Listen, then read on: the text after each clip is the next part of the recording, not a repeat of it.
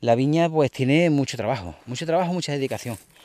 Eh, más que trabajo en sí, trabajo físico, que lo tiene en su momento, es estar pendiente de ella.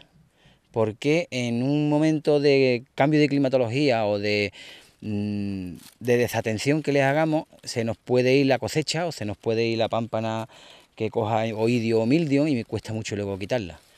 Empezamos pues, digamos que hemos terminado ahora y de coger la, la uva y esperaríamos hasta enero Mm, depende ya cada uno, pero yo espero hasta la menguante de enero, como mucho la primera de febrero, y empiezo con la poda.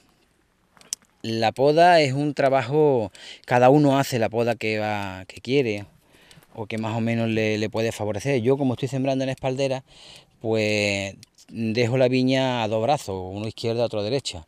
Y lo que hago es una poda alternando. Un año le dejo a, una, a un lado, le dejo una vara, quizá es la que más va a cargar este año, o la que más ha cargado, suelen cargar las varas, y el otro lado le dejo un puerto.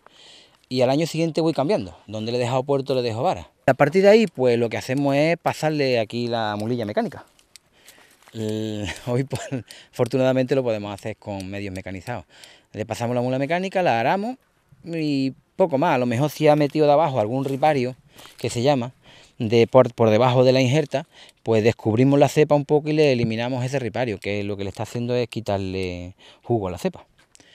Esperamos eh, todo el invierno hasta que empieza la primavera y empieza a brotar la viña.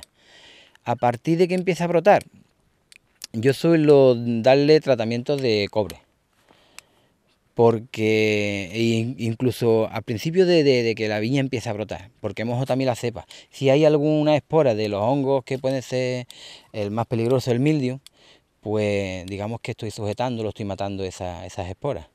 Y a partir de ahí, pues es un seguimiento continuo. La viña va creciendo, la va siguiendo, sigue sana, mm, no pasa nada, y cuando tiene unos 35, 30, 35 centímetros, llega lo que nosotros llamamos el esmamonado el esmamonado es quitar todos los brotes que han salido por debajo de la, poda, que no valen para nada, lo único que hacen es consumir savia, y dentro de lo que es la poda, los sarmientos que vemos que no van a valer para nada, que no nos van a valer para, ni para echar uvas, ni los vamos a dejar para la siguiente poda. Hacemos un poco un aclareo de, de, esas, como si fuera una segunda poda. Pero eso se hace a mano. Después de ese mamonado la viña sigue creciendo. En este caso, por ejemplo, como son en espaldera, pues hay que esperar que la viña, eh, digamos que el sarmiento esté bien fijo a la cepa, porque si no es muy fácil de romperlo. Esperamos que el sarmiento esté bien fijo a la cepa y empezamos a meterla en los alambres, a guiarla por los alambres, para que la viña, en, eh, a lo que es contrario de, la viña que se cría en vaso, que se deja crecer libremente, pues el crearla en espardera, digamos que tenemos que hacer un seto con la viña. Eso es un guiado, un trabajo continuo, cada dos, tres semanas tenemos que volver a la viña. También aprovechamos que si hay algún sarmiento demasiado largo, pues lo que hacemos es despuntarlo. Eso le llaman pellizcado. Eso es muy fácil de hacerlo a mano.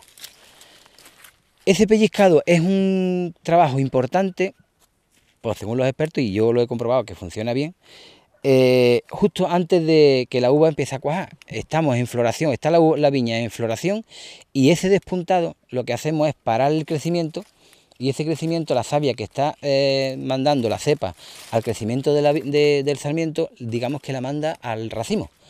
Dice que favorece el cuajado del racimo. Quizás lo que me quede ya que contar un poco son los tratamientos que se le da a la viña.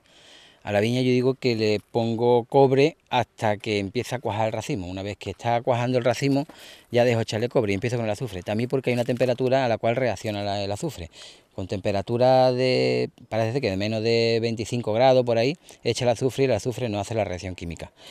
A partir de ahí es cuestión de controlarla muy bien sobre los días que hay mucha humedad ambiental y eso, porque hay que tenerla bien azufrada.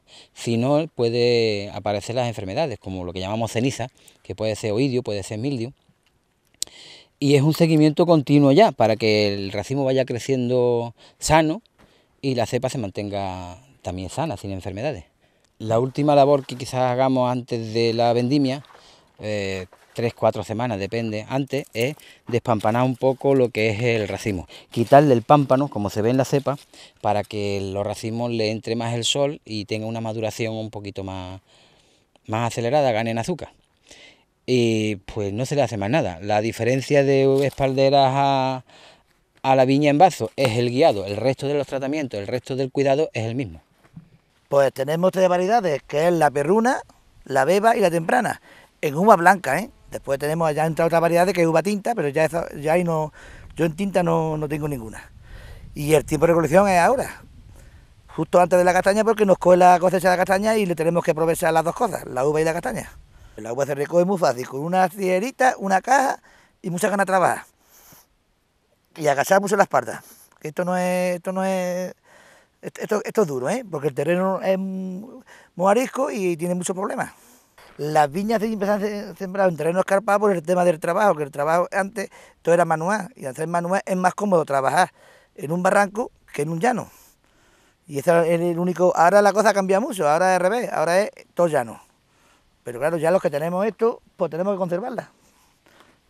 Si queremos tenerla, tenemos que conservarla, si no, pues tenemos que dejarla de perder. Bueno, aquí tenemos en la finca Cadomi, tenemos dos, variedades de uvas, que es la blanca y la negra. Una vez recogida, la llevamos a la bodega, pasamos su elaboración al pisado, eh, hacemos vino mosto y vino tinto. El vino mosto, bueno, pues se echa, digamos, todo lo que es a la cuba para poder pisar y triturar y su fermentación es más fácil o su elaboración es más fácil que el vino tinto. El mosto, el vino blanco, bueno, son 40 días, lo que tenemos que dejar una vez que fermente, hay que traspasarlo de una juana a otra, colada, para que no haya ninguna impurezas. El vino tinto, como ya he dicho, es más complicada su elaboración. Eh, hay que dejarlo con el pellejo, con los huesecillos y que eso vaya fermentando. Eso cada día, todo, al principio de la elaboración, de la fermentación, al día o al segundo día tenemos que ir y quitarle la capa que se le crea. Una vez que empieza a fermentar vino tinto, llamada sombrero, hay que ir quitándola para que digamos que pueda seguir aspirar o respirar la fermentación de ese vino tinto y, así sucesivamente, es más, es más laborioso. Aproximadamente, pues yo creo el vino, el mosto con el blanco son 40 días de fermentación y más o menos arriba abajo el, mismo, el tinto es lo mismo. Y luego, bueno, pues luego tenemos, lo presentamos a la cata de vino, un concurso que se hace aquí en Cartagena, y bueno, sobre todo para saborear, disfrutar con los amigos, familiares, el que gane, pues gana y punto, y ya está y luego pues la mesa. Todo el mundo mm, sobre varios puntos de España llega, al menos el mío, llega al mosto, a las amistades familiares lo suelen probar y cada vez piden más.